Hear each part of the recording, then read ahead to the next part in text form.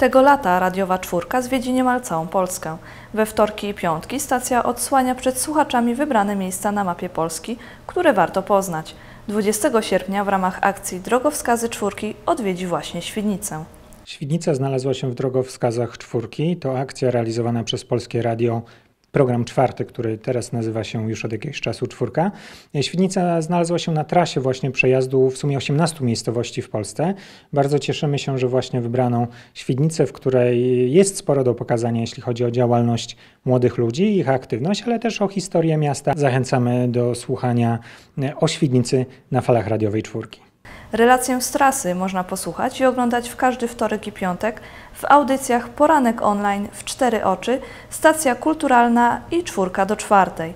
Prezentowane w nich będą relacje reporterskie, wywiady oraz materiały dziennikarskie ukazujące dane miejscowości i odbywające się w nich wydarzenia.